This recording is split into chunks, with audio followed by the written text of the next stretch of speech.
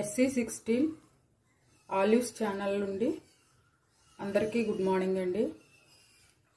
ఈరోజు మనం ఒక రెసిపీ చూసుకుందాము. అదేంటంటే మసాలా పొడి. ఇది అందరికీ చాలా ఉపయోగకరంగా ఉంటుంది.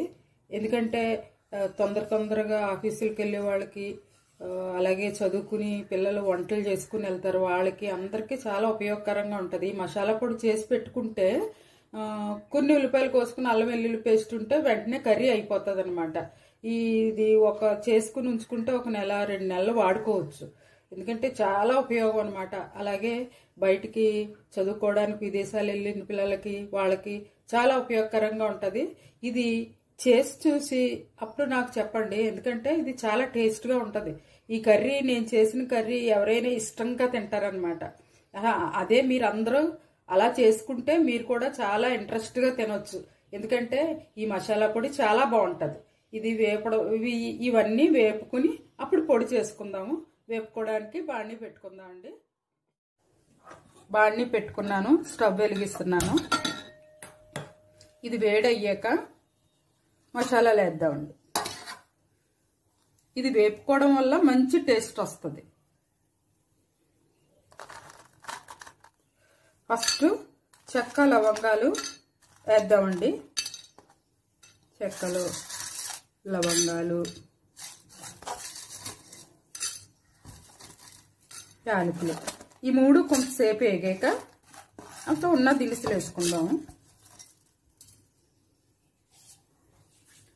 ఈ వేపుతున్నాండి ఈ వేపు చేసుకోవడం వల్లే మంచి టేస్ట్ వస్తుంది. మనం బయట మసాలాలు కొనుక్కుని చేసుకోవడం వల్ల టేస్ట్ వేరుగా ఉంటుంది. అన్నీ ఒకేలాగా ఉంటాయి. అలా కాకుండా మనం చేసుకుంటే చాలా బాగుంటుంది. ఈ బయట చేసుకున్నవి మనకు ఆరోగ్యానికి కూడా మంచిది కాదు. ఇది మన ఇంట్లో చేసుకోవడం వల్ల ఆరోగ్యానికి మంచిది రుచికరంగా ఉంటుంది. ఇంట్రెస్ట్గా తింటారు అందరూను.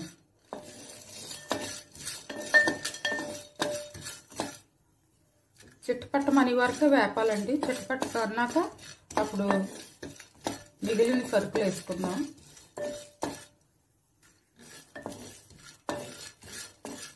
కొంచెం వేగేయండి. ఉమ్, చిట్టుపట్టమంటున్నాయి అయ్యో చూడండి సౌండ్ వినబడుతుంది.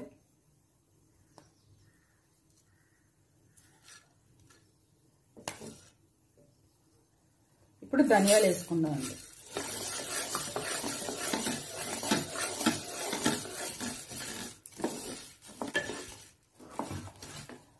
ధనియాలు కూడా చెట్టుపట్టమంటున్నాయి.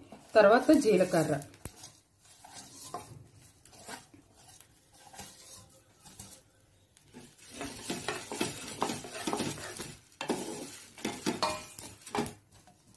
తర్వాత దోసపప్పు వేసేద్దామండి.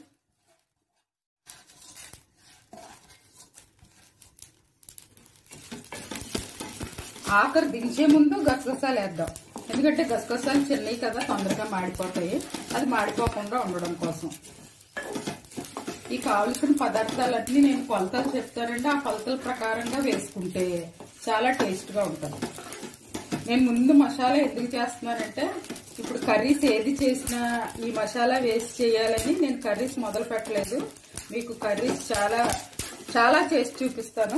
ఇప్పుడు గసగసాలు వేసేద్దండి చాలా చిట్పట్లాడుతున్నాయి కదా. గసగసాలు వేసేసి ఒక్క రెండు నిమిషాల నుంచి దించేద్దాం. రెండు నిమిషాలు. కూడా అక్కర్లేదు. ఒక్క నిమిషం. అవి అవి కూడా చుట్టుపక్కల ఆడేస్తున్నాయి. ఓకేనండి ఇది వేగడం అయిపోయింది. ఆఫ్ చేసేస్తున్నాను స్టవ్. ఆపేసాను ఇది కాసేపు కొంచెం అలా వేగనిచ్చి అప్పుడు మళ్ళీ వేరే పాత్రలో వేసేయచ్చు. అవి చల్లారుతాయి.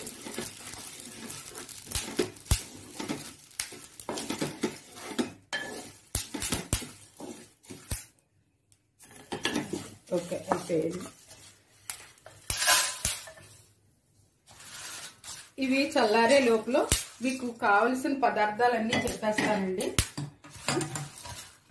వంద గ్రాములు ధనియాలు వేసుకున్నాను.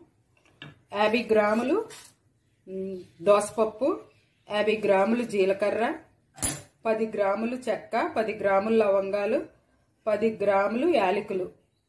అలాగే గసగసాలు కూడా పది గ్రాములే వేసాను.